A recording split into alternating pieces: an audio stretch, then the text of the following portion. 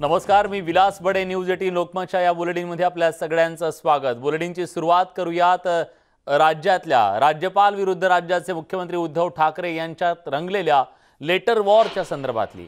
राज्यपालांच्या पत्राला आता मुख्यमंत्र्यांनी उत्तर दिलं. राज्यपालांच्या मागणीवर मुख्यमंत्री उद्धव ठाकरे यांनी जोरदार पलटवार केलेला आहे. राज्यात नाही तर देशात अत्याचारांमध्ये वाढ झाली. अशीच सूचना पंतप्रधानांना सुद्धा करा. संसदेचं चार दिवसांचं विशेष सत्र बोलवा. या अधिवेशनात सर्वच घटनांवर चर्चा करता येईल असं म्हणत राज्यपाल भगतसिंग कोश्यारी यांनी मुख्यमंत्री उद्धव ठाकरे यांना महिला अत्याचार आणि कायदा सुव्यवस्थेच्या प्रश्नाबद्दल राज्यात अधिवेशन बोलवण्याची जी मागणी केलेली होती त्या मागणीला खरमरीत उत्तर आत्ता दिलेलं आहे मुख्यमंत्री उद्धव ठाकरे यांनी. आणि अशा प्रकारच्या अत्याचाराच्या घटनांमध्ये केवळ महाराष्ट्रात नाही तर देशातही वाढ झाली आहे. त्यामुळे देशाचंच अधिवेशन बोलवा. त्याचबरोबर उत्तर प्रदेश सारख्या भाजपशासित राज्यांमध्ये सुद्धा अशा प्रकारची मागणी आपण करावी असं त्यांनी म्हटलेलं आहे. त्यामुळे राज्यपाल विरुद्ध राज्य सरकार हा संघर्ष गेले काही दिवस शमताना दिसत होता. ती डिप्लोमसी सुद्धा झालेली होती आणि या डिप्लोमसीच्या नंतर कुठंतरी हा वाद मिटतोय असं दिसत असताना पुन्हा एकदा लेटर वॉर सुरू झालंय.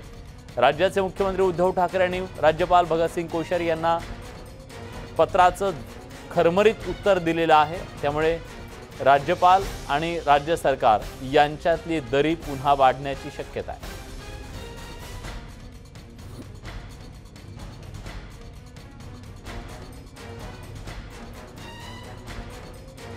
त्यामुळे राज्यपाल आणि मुख्यमंत्री उद्धव ठाकरे यांच्या दरम्यान जे लेटर वॉर झालेला आहे. त्या लेटर वॉरचे पडसाद राज्याच्या राजकारणात सुद्धा उमटू शकतात कारण सत्ताधारी आणि विरोधक हे पुन्हा एकदा आमने सामने येऊ शकतात. मुख्यमंत्र्यांनी राज्यपालांना पत्र लिहिल्यानंतर शिवसेनेचे खासदार अरविंद सावंत यांच्याशी संवाद साधला. आमचे प्रतिनिधी उदय जा जाधव यांनी.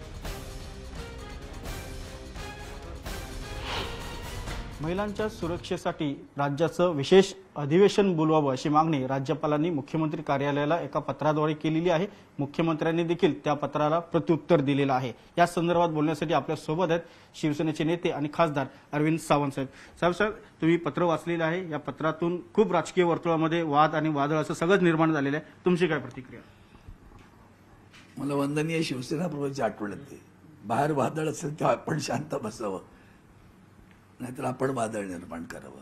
खरं तर वादळ निर्माण तुम्ही करायचा प्रयत्न केलात त्याला तडाखा आदरणीय मुख्यमंत्र्यांनी दिला. सणसणीत तडाखा दिलेला आहे. खरं तर सकाळी जेव्हा मी ते ऐकलं तेव्हा मला आश्चर्यच वाटलं की महिलांच्या अत्याचाराची एवढी कणव एका पक्षाला वेगळी ज्या पक्षातील अनेक पदाधिकाऱ्यांची नावं त्या या सगळ्या प्रकरणात येत असतात. आणि मग अशा वेळेला जेव्हा महामहिन राज्यपाल जी सांगतात की दोन दिवसाचं अधिवेशन घ्या. तेव्हा त्यांना खऱ्या अर्थानं तो कदाचित घटनात्मक अधिकार आहे निर्देश देण्याचा. पण त्यांना तो नैतिक अधिकार नाही. आणि ते तो नैतिक अधिकार त्यांनी केव्हाच गन गमावला आहे. कारण ज्या पद्धतीनं घटनेला संविधानाला मानायचंच नाही. म्हणजे एक जसं बारा राज्यपाल नियुक्त सदस्यांची नेमणूक करायची आहे तो सरकारचा अधिकार आहे. मी राज्यपालनी राज्यपाल सदस्य होतो ना. सरकारचा अधिकार आहे सरकारनं तुम्हाला कळवलंय.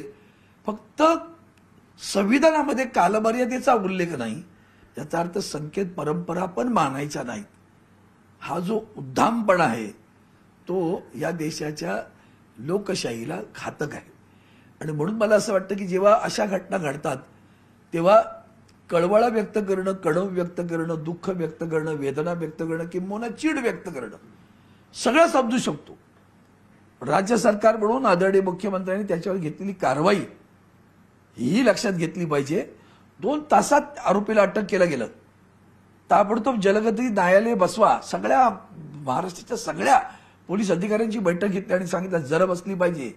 हे सांगणारे मुख्यमंत्री या राज्याला आहेत. त्याचा सुद्धा आपण उल्लेख करायला हवा. तुम्ही जेव्हा डिवचण्याचा प्रकार करता तेव्हा त्याला उत्तरं अशीच मिळतात. खरं तर आदरणीय मुख्यमंत्र्यांचं पत्र म्हणजे महामहिन राज्यपालांनी जे काही पाऊल उचललं त्यावर त्यांची लक्तर वेशीवर टाकणार आहे. लखतर अशी तशी नाही काढली त्यांनी ती त्यांनी उत्तराखंडला माननीय महामेन राज्यपाल तिथंही मुख्यमंत्री होते. तिथल्या घटनांपासून उत्तर प्रदेश बिहार आमचा शेजारची भावंड गुजरात मध्य प्रदेश नॅशनल क्राईम रिपोर्टमध्ये ही सगळी राज्य वरती आहेत बरं. म्हणजे आपण आता हाथरसची घटना तर काय आहे? सरकार पुरस्कृत घटना आहे ती खरं तर. म्हणजे त्याला रा- समोर सगळे पुरावे नष्ट करून त्याचं अंत्यविधी केला जातो हो. कशात बसतं हे? मग कुठल्या तोंडानं तुम्ही हे बोलू शकता? उन्हाव आहे निर्भया आहे अनेक घटना घडल्या. दिल्लीत तर तुमचंच राज्य आहे कायदा सुव्यवस्था तुमचं आहे ना? दिल्लीतलं. उठसूट त्या आपला गोळ्या घालतात ते इकडे बघा काय करताय ते. मग अशा वेळेला आपल्याला लक्षात येतं की महामहिन राज्यपालांना याची जाणीव आणि आठवण आदरणीय उद्धवजींनी त्यांच्या पत्रात करून दिली. आणि मग सांगितलं की शेवटी हे राज्य छत्रपती शिवाजी महाराजांच्या संस्कारानं चालतं. आणि छत्रपती शिवाजी महाराज कसे वागत होते? महिलांच्या अत्याचाराबद्दल त्यांची भूमिका काय होती? आता काय त्याचं राज्य आलं चौकट आली घटना आली संविधान आलं. म्हणून त्या संविधानात बसून इतक्या तातडीनं कारवाई केली जाते. अहो गणपती उत्सव असताना प्रचंड तणावा ताण तणाव असताना सुद्धा माझा मुंबईचा पोलीस अतिरेक्यानं पकडतो हो. हे. किती मोठी गोष्ट कौतुकास्पद गोष्ट याचा विचार करा. म्हणजे कायदा सुव्यवस्था कुठल्या थराला आहे ती पहा. मग ते त्याचा उल्लेख त्याचा गौरव न करता एक दुर्घटना घडली. त्याचं भांडवल करून एक मुद्दामून अधिवेशन घ्या म्हणून त्यांनी सांगितलं. गुजरातमध्ये तर महिनाभर अधिवेशन घ्यावं लागेल. हे त्यांचाच रिपोर्ट आहे ना. दररोज तीन बलात्कार. मग काढा करा. मग हे जे काय आपलं पर अपपर भेदभाव आहे हे पाहिल्यानंतर मन विदीर्ण होतं. किंबहुना महामहिन राज्यपालांना सुद्धा असं वाटतं की तुम्ही तुमच्या पदाची गरिमा राखा. ती इतकी खाली नका देऊ. मग ते शब्द ते राज्यपाल असल्यामुळे आपल्याला आदरानं बोलायचे संस्कार आहे आपला. आपण त्या भाषेत बोलू शकत नाही. पण मग मला एवढंच वाटतं शाण्याला शब्दाचा मार दिलाय उद्धवजींनी. तो समजला तर बरं आनंद होईल. निदान तेवढा तरी शब्द कळायला पाहिजेत. की आपण काय नक्की करतो? त्यातून मुख्यमंत्र्यांनी या पत्राद्वारे मागणी केलेली आहे की महाराष्ट्रासह संपूर्ण देशभरातील राज्यांच्या लोकप्रतिनिधींसह संसदीय एक विश- अधिवेशन बोलावं अगदी महिला. सुरक्षेच्या संदर्भात साकिनागा बलात्कार प्रश्नाची देखील चर्चा व्हावी. त्यांचं म्हणणं बरोबर आहे ना. कारण हा प्रश्न त्यांचा शब्द असा आहे की राष्ट्रव्यापी आहे. आणि खरं आहे. कारण आत- सगळ्या राज्यांमध्ये घडतंय. तेव्हा हा प्रश्न फक्त मुंबई पुरता महाराष्ट्रापुरता नाही. तर महिलांच्या वरील अत्याचार हा राष्ट्रव्यापी प्रश्न झालाय. गंभीर झालाय. म्हणजे लहान मुलांपासनं अगदी वृद्धांपर्यंत जे काय घडतंय ते खरंच अंतर्मुख करायला लावणार आहे. आणि म्हणून हा राष्ट्रव्यापी प्रश्न आहे तर आपण एक विनंती त्यांनी केली की आपण संसदेचं अधिवेशन घ्यावं आणि पाहिजे असल्यास त्या अधिवेशनामध्ये या विषयाची चर्चा तुम्ही तिथं करू शकता. कारण हा प्रश्न निव्वळ राज्याचा नाही तो राष्ट्रव्यापी आहे. तर एक शेवटचा प्रश्न विचारतो. महिला सुरक्षेचा प्रश्न अतिशय संवेदनशील आहे. याच्या संदर्भात कुठलंही राजकारण होऊ नये हा एक विषय म्हणजे इच्छा सर्वसामान्य जनतेची आहे. ते का होताना दिसत नाही? मात्र महिला सुरक्षेच्या संदर्भात राजकारण सत्ताधारी विरुद्ध विरोधक असं होताना दिसत आहे. सत्ताधारी वि- विरुद्ध विरोधक नाही. विरोधक मुद्दामून अ, प्रयत्न करतायत सत्ताधाऱ्यांनी कुठे याचं राजकारण केलं? आम्ही केलं का भांडवल? नाही नाही बघा बघा आम्ही ताबडतोब कायदेशीर कारवाई केली होती. नाही ना? भांडवल तुम्ही करताय. मला खरंच सांगतो परत परत वंदनीय शिवसेना प्रभूंची आठवण येते. हे खुलेआम सांगितलं महिलांना मसऱ्यांची पूट ठेवा पर्समध्ये. शक्य झाल्यास आणखीन एखादं शस्त्र ठेवा बरोबर. हे सांगणारे शिवसेना प्रमुख होते. आणि मग आमच्या युवा नेत्यांचं कौतुक करावं लागतं की त्यांनी निव्वळ सुरक्षा नाही तर अलीकडे शाळा शाळांमध्ये मुलींना स्वर संरक्षणासाठी ते ह्याचे प्रशिक्षण वर्ग घेतले त्यांनी. कशासाठी घेतले? मग स्वसंरक्षणासाठी प्रशिक्षण देणारे युवा आदित्यजी ठाकरे वंदनीय शिवसेना प्रमुख हा संस्कार पहा. महिलांच्या बद्दल आदर सुरक्षा याचा गांभीर्यानं विचार करणारी शिवसेना आहे. आणि आम्ही नेहमी म्हणतो आमच्याकडच्या महिलांच्या केसाला सुद्धा धक्का लावू देणार नाही आम्ही.